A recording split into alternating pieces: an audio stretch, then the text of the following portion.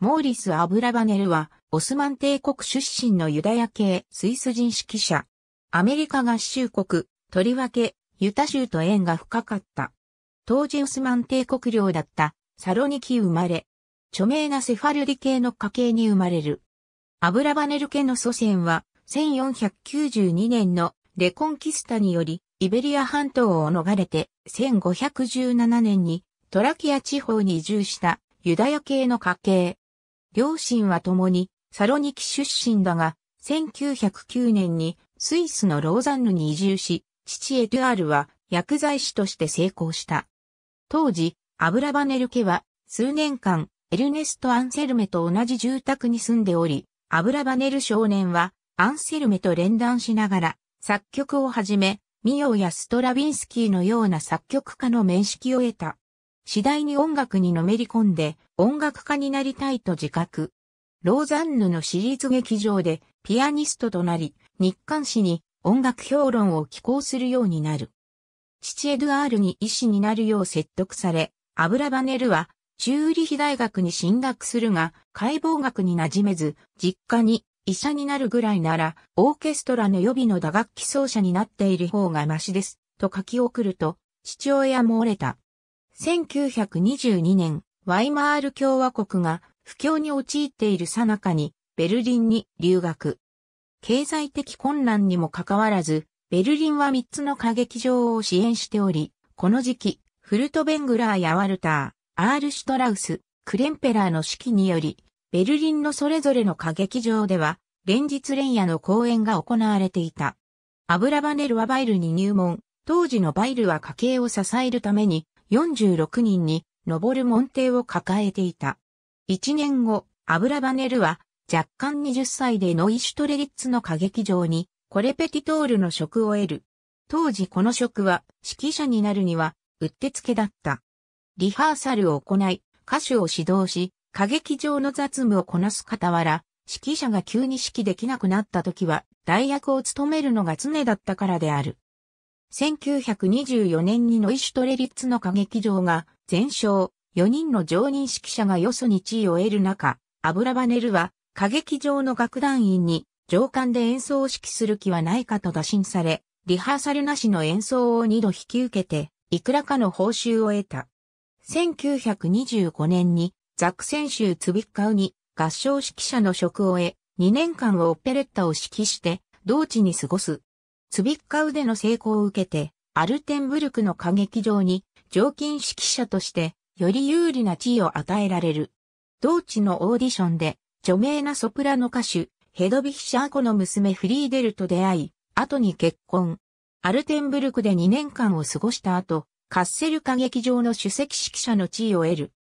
1931年には、ベルリン国立歌劇場にて、ベルリの運命の力を指揮、感銘を受けた楽団員は、アブラバネルの力量を称賛し、アブラバネルを客演指揮者として呼び戻すことを決定する。この時まだ27歳に過ぎなかった。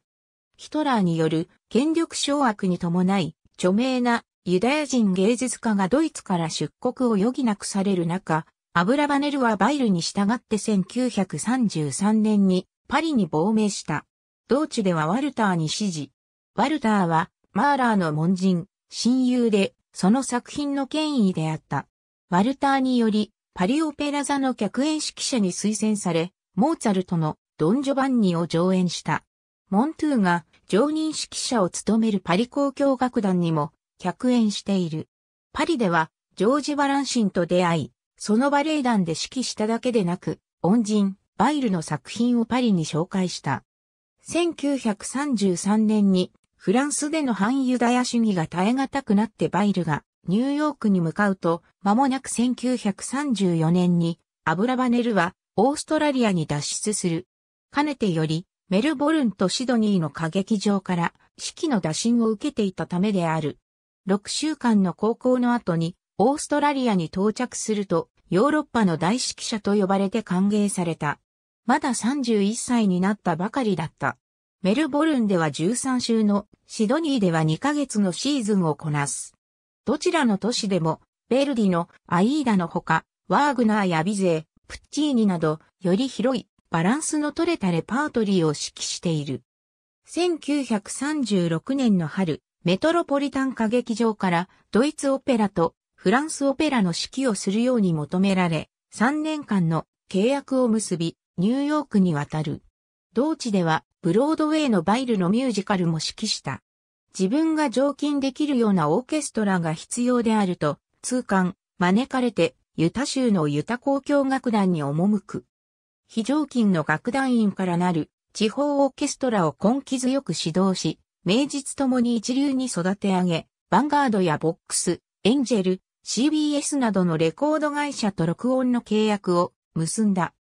次に、ユタ交響楽団の活動拠点を求めて、陳情を行い、コンサートホールの設立までこぎつけたが、その夢が叶ったのは、アブラバネルの引退後のことだった。現在そのシンフォニーホールは、彼の功労を称えて、アブラバネルホールに解消されている。